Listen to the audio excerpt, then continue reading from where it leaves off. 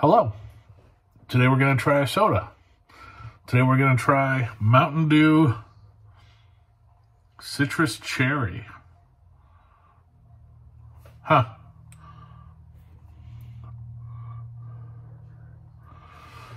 So yeah, in the small words it says dew with a blast of citrus cherry flavor.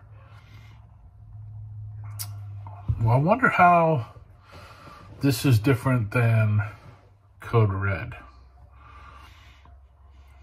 Code Red is uh, Cherry Mountain Dew. Let's see. Ooh.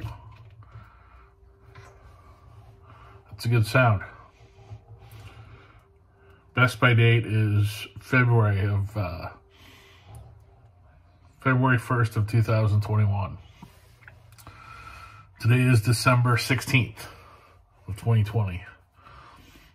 So we're doing okay. Uh, definitely cherry on the nose. But uh, also a lemon flavor as well. So cherry and lemon seems to be as advertised.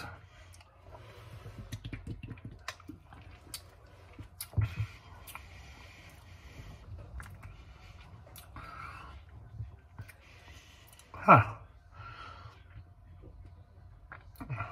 Cherry up front, lemon, zest, citrus on the back end is what I'm getting. Let's let's try a little more.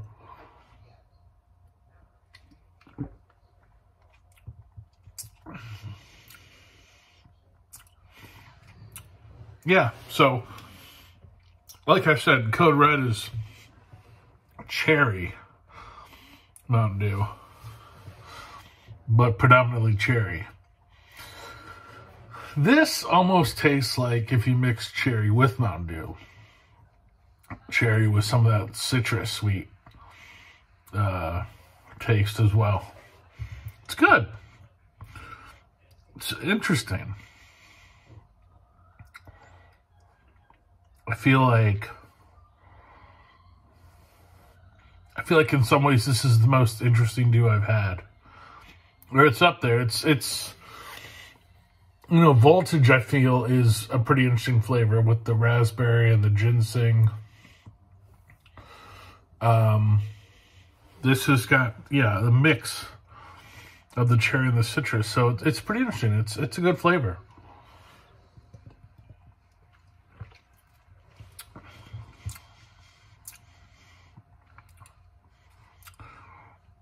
Yeah, pretty straight ahead, pretty straightforward.